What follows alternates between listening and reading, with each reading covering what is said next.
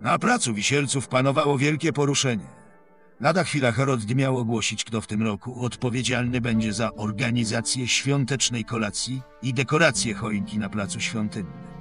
Wszystkiemu z boku przysłuchiwał się nasz bezimienny bohater. Słuchajcie, słuchajcie, mieszkańcy Korinis. Łaskawie nam panujący Lord Hagen ogłasza, że w tym roku kolacja wigilijna odbędzie się w gospodzie pod tłustym cielaczkiem. Gospodarz zapewnił, że chętnie przyjmie wszystkich uczciwych i praworządnych mieszkańców miasta. Nasz lord wynegocjował z Koragonem, że także dla gildii złodziei oraz Bawidamka Valentino, mimo wszystko znajdzie się miejsce na uroczystej kolacji. Na ten jeden wieczór obowiązywać będzie ich amnestia. Specjalnie dla nich na zewnątrz zostaną wystawione stoły dostarczone przez mistrza Torbena. Mistrza swój wkład poprosił jedynie, aby każdy z pobożnych obywateli pomodlił się u bogów o pomyślność dla jego siostrzenicy Gritty. Magdaron liczy, że wszyscy mieszkańcy miasta niebawem go odwiedzą, aby mógł ich pobłogosławić. Oczywiście klasztor liczy, że w tym magicznym czasie nasi obywatele nie zapomną o kapłanach, którzy w zamian za modlitwę liczą jedynie na skromny datek na funkcjonowanie kościoła.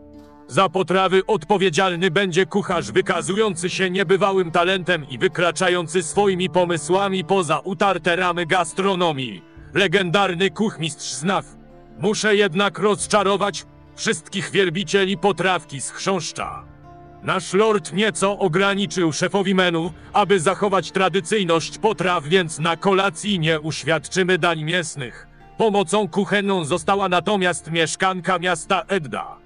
Na dostawcę zaopatrzenia wybrano dwóch wspaniałych mieszkańców. Za dostawę ryb odpowiedzialny będzie handlarz Zalor słynący z wysokiej jakości sprzedawanego towaru. Wygrał on przetarg, do którego wystartował także rybak Parim. Tym, tym skorzystając z okazji z tego miejsca ogłaszam także, iż wyznaczono nagrodę za odnalezienie rybaka. Niestety nie stawił się on na spotkaniu z kandydatami na dostawców zaopatrzenia i od tamtej chwili uznaje się go za kolejnego zaginionego mieszkańca. Dostawcą warzyw został natomiast jedyny startujący na to stanowisko farmer Robert, któremu pomagać będzie jego żona Hilda. Sezon zimowy nam wszystkim mocno doskwiera, więc też z tego miejsca pragnę życzyć jej dużo zdrowia. Liczymy na to, że pani gospodarz ten rok dokończy zdrowa i wspomoże męża w przygotowaniach. Na osobę przygotowującą dekoracje świąteczne wyznaczono mistrza Konstantino.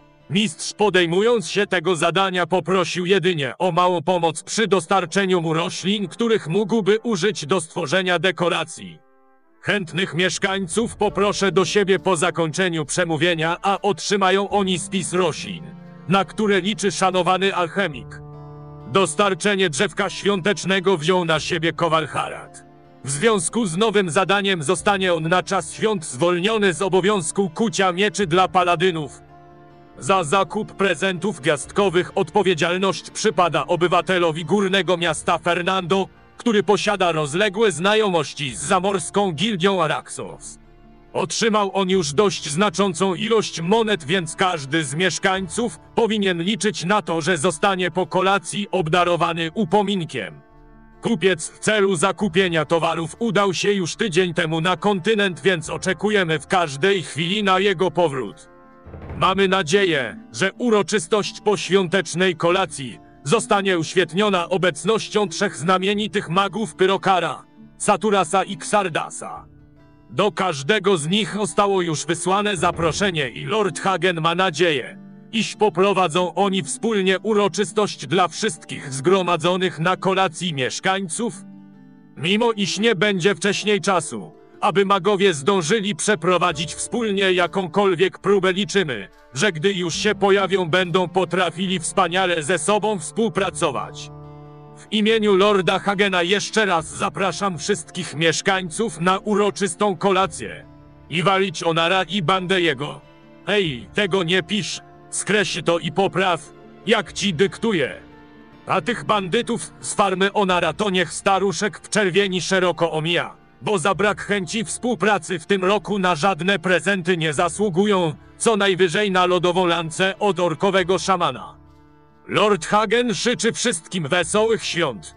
W tym momencie bezimienny zdał sobie sprawę, że w tegoroczne święta będzie miał więcej roboty niż przy zadaniach zlecanych przez Xardasa. Bo kogo innego Lord Hagen zapędzi do pracy, gdy zda sobie sprawę ze swoich bardzo przemyślanych wyborów mieszkańców odpowiedzialnych za tegoroczne święta. Tak, to bardzo typowe. Ach, nie dziwne, że przegrywamy z orkami mając takich strategów. I znowu wszystko na mojej głowie. Zawsze to samo. Subskrybując kanał, oceniając i komentując ten film doceniasz moją pracę i wspierasz rozwój mojego kanału.